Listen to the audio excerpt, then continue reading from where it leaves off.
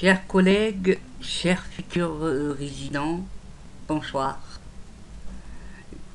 J'ai vu que la vidéo d'hier vous a vraiment plu. Alors euh, j'ai décidé de faire une deuxième, intitulée une dizaine de QCM en hémato 2. Et directement on enchaîne avec la première question qui est la splénectomie fait partie du traitement d'une ou de plusieurs des affections hématologiques suivantes.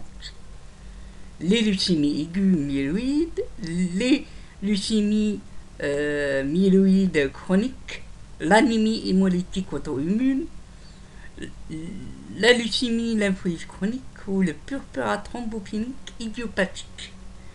Déjà, on peut éliminer tous les leucémies vu que dans les hémopathies amalines, la splénectomie n'est pas efficace et ça ne constitue pas euh, un traitement euh, de choix pour ces affections.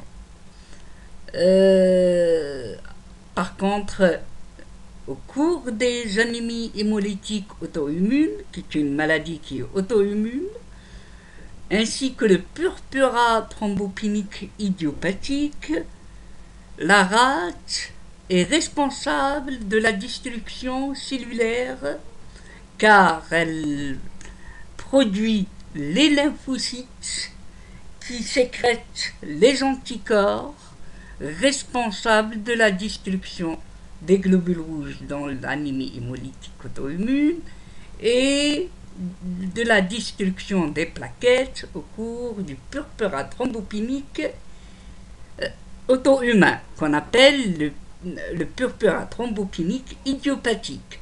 Et donc, la réponse juste est l'anémie hémolytique auto-immune ainsi que le purpura thrombopénique idiopathique. Deuxième question, Parmi les affections suivantes, lesquelles s'expriment avec une anémie microcytaire Est-ce que c'est l'anémie de Werner Non. L'anémie de Werner est une anémie macrocytaire. C'est une anémie mégaloblastique. La même chose que la maladie d'Immersklund, qui est une anémie mégaloblastique de l'enfant. Alors que le déficit en G6PD est une anémie hémolytique aiguë, euh, congénitale, et qui entraîne des crises hémolytiques aiguës. Et donc, elle se manifeste par des anémies normocytaires. Les seuls anémies microcytaires alors sont bien sûr l'anémie féréprive et la bêta-thalassémie, qu'elle soit mineure, majeure ou intermédiaire. Et sûrement pas les anémies de Werner ou Immerslund ou le déficit en GCSPD. Il est intéressant de rappeler que les anémies microcytaire regroupe quatre types d'anémie. La première, c'est l'anémie féréprive. Bien sûr, c'est la plus fréquente des anémies microcytaires. La deuxième, c'est les anémies inflammatoires, où l'anémie n'est qu'un épiphénomène dans un tableau inflammatoire chronique qui évolue depuis un certain temps, par exemple, un, patient qui présente euh, un rhumatisme type euh, polyarthrite rhumatoïde pendant des années, c'est logique euh, s'il fait une anémie inflammatoire. Tous les syndromes thalassémiques peuvent donner une anémie microcytaire qu'elle soit bêta-thalassémie ou alpha-thalassémie, mineure ou majeure ou intermédiaire. Et le quatrième type d'anémie, c'est les anémies sidéroblastiques. Ce sont des anémies qui sont rares, mais il faut retenir qu'elles sont euh, microcytaires hypochromes. La troisième question. Dans une leucémie aiguë, l'hémogramme peut mettre en évidence une neutropénie Oui, une neutropénie.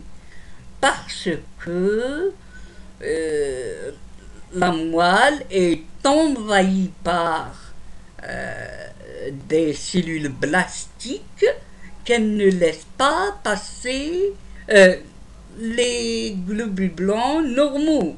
Et donc, euh, elle est tellement envahie par des blastes qu'elle ne laisse pas des cellules hématopoïtiques normales euh, se produire. Elle prend trop de place.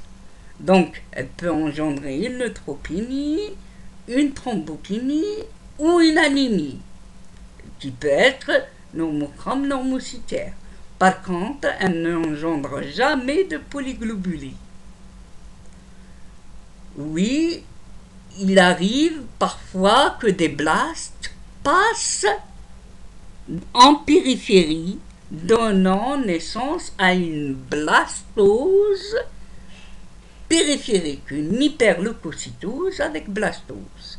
Et donc, les réponses justes sont neutropénie. Après, il y a hyperleucocytose avec blastose une thrombopénie, pas de polyglobulie, mais une anémie normochrome normocytaire. Euh, je rappelle euh, un petit rappel sur les leucémies aiguës. Euh, cliniquement, ils se manifestent par deux syndromes. Un syndrome d'insuffisance médulaire, plus ou moins un syndrome tumoral. Le syndrome d'insuffisance médulaire est fait d'un syndrome anémique c'est-à-dire la pâleur cutanéo-muqueuse, la dyspnée, la tachycardie, etc. Le syndrome infectieux, surtout, euh, il se manifeste par une fièvre, des sueurs, etc. Un foyer infectieux euh, qui peut être euh, détecté ou pas. Un syndrome hémorragique fait surtout de purpura purpura échymotique et mais d'autres euh, hémorragies telles que les épistaxis, les gingivorapies peuvent être retrouvées. Le syndrome tumoral, alors le syndrome tumoral, c'est des adénopathies, des splénomégalies, des, une hypertrophie gingivale, etc. Euh, tout envahissement viscéral par des places peut engendrer un syndrome tumoral. Et le tout d'installation très rapide qui, euh, qui peut euh, s'installer en quelques jours, voire en quelques semaines. Et biologiquement, on retrouve un hémogramme euh, qui retrouve une anémie normochrome normocytaire à régénérative, plus ou moins une thrombopénie, une leucopénie, et comme on l'a dit tout à l'heure, une leucocytose. Et donc la diminution des rouges, des plaquettes et des blancs, on appelle ça une pancytopénie. Si deux lignées sont touchées, on parle de bicytopénie. Le frottis il montre soit un frottis désertique s'il y a euh, une pancytopénie, ou une euh, une blastose périphérique. Et le myélogramme, il retrouve un taux de blast à 20, euh, supérieur à 20% selon les critères OMS euh, pour le diagnostic de la leucémie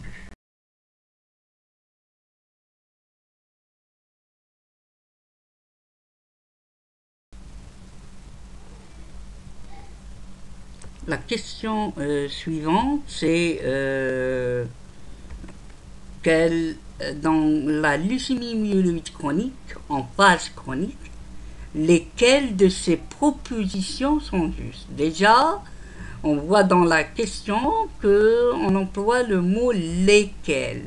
lesquelles, c'est-à-dire on va cocher plusieurs réponses.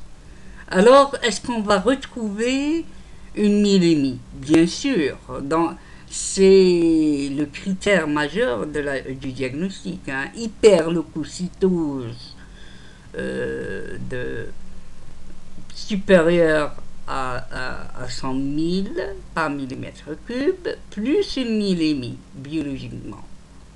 Donc, oui, on va retrouver une myélémie. La basophilie supérieure à 20%. Non, la basophilie euh, est un critère d'accélération de la LMC et non euh, un critère de diagnostic de la LMC en phase chronique. Euh, une blastose médulaire et sanguine inférieure à 30%. Non, pas du tout. Actuellement, la blastose médulaire est inférieure à 20% dans la phase chronique et d'accélération, mais,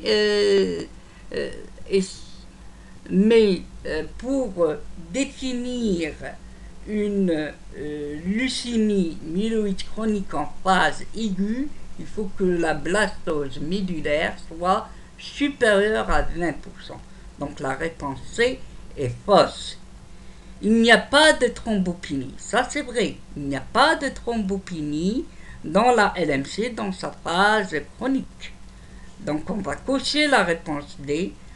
Par contre, les adénopathies ne sont pas associées à la splénomégalie à la phase chronique. C'est une splénomégalie isolée.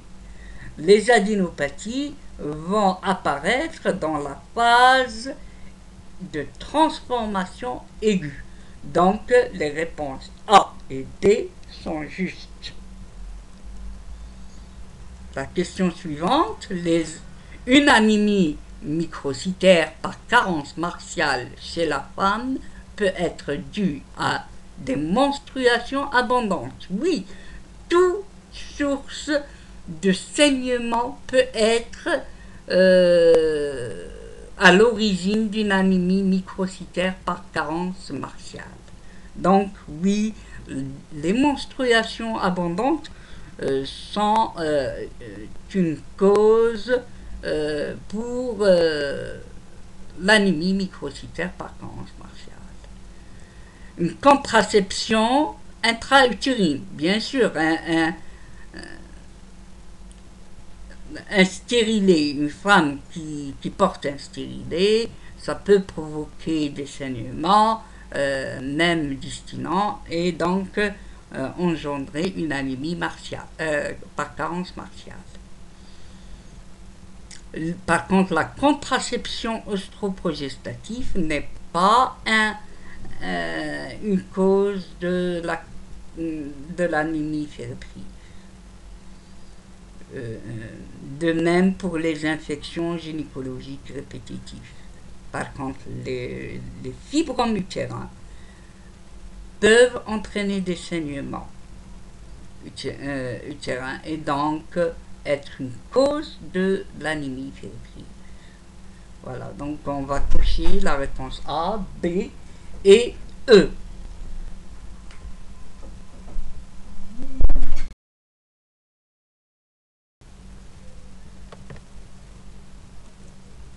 Donc, dans une anémie mégaloblastique, on, observe une augmentation des, réticulocytes.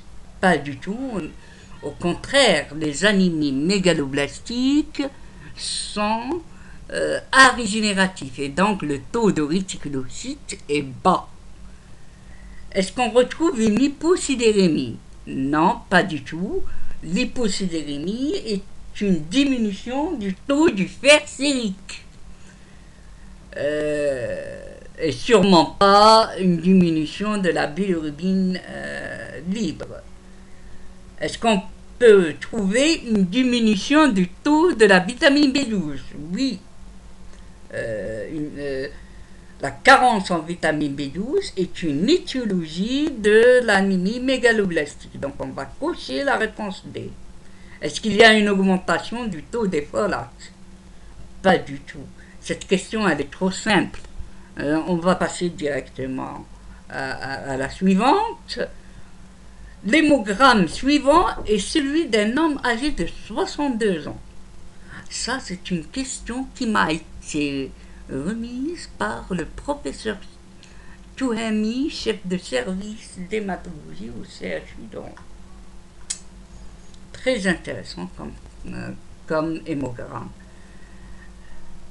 Le taux de globules rouges est de 2 700 000 par millimètre cube. L'hémoglobine, elle est à 10 grammes par décilitre. Le VGM à 72 microcubes. Le CCMH à 29%.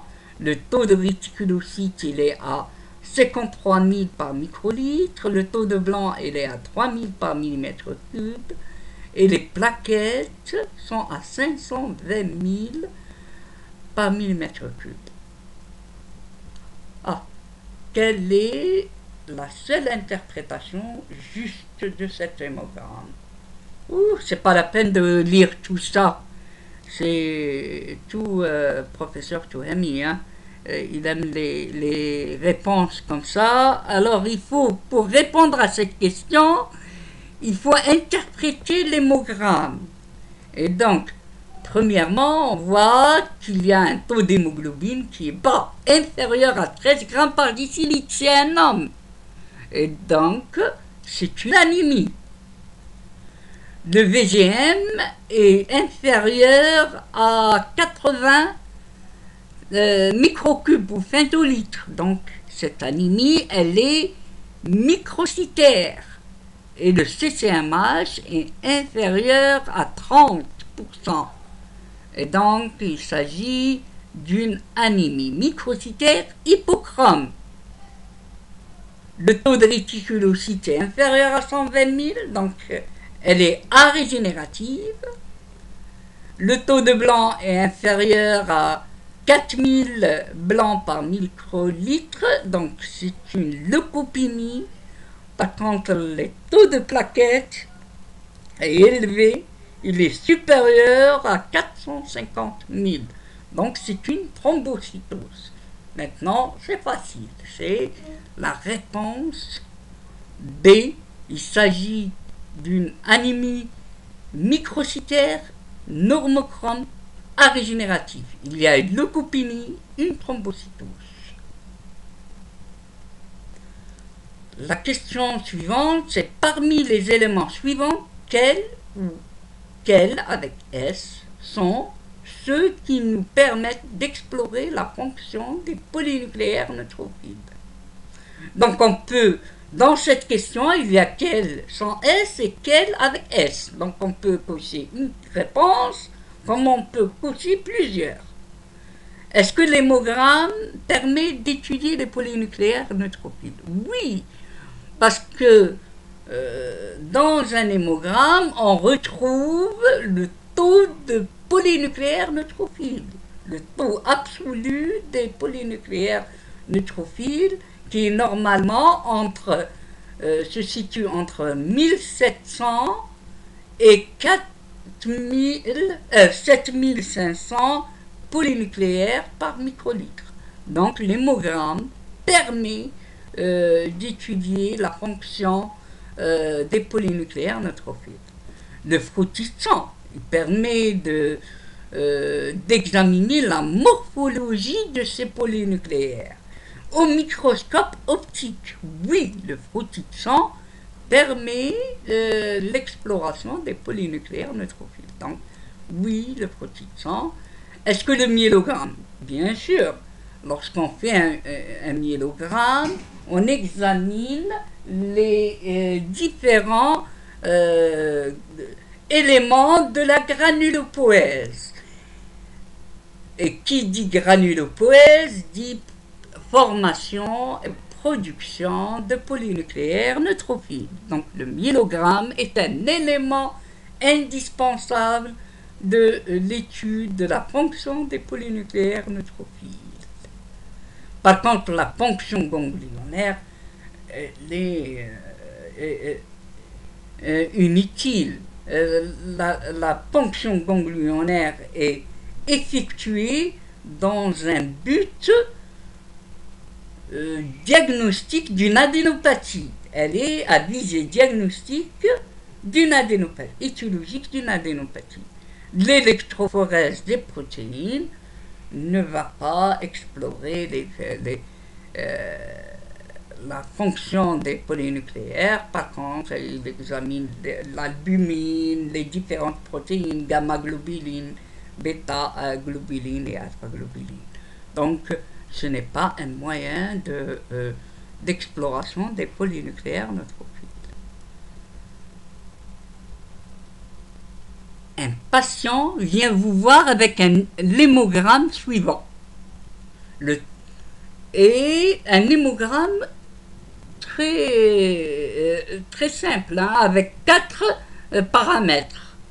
On peut, qui peut se voir dans tous les, les euh, laboratoire en fait. Euh, avec un taux de globules rouges à 2 500 000 par euh, millimètre cube. Un taux d'hémoglobine à 7,5 grammes par décilitre. Donc, il existe une anémie. C'est un homme qui a un taux d'hémoglobine inférieur à 13 grammes par décilitre. Euh, il existe aussi une leucopénie avec 2700 globules blancs par millimètre cube. Donc c'est une leucopénie. Et là, euh, on trouve aussi un taux de plaquettes inférieur à 150 000, donc c'est une thrombopénie. Ah, là, il s'agit d'une pancytopénie. Est-ce que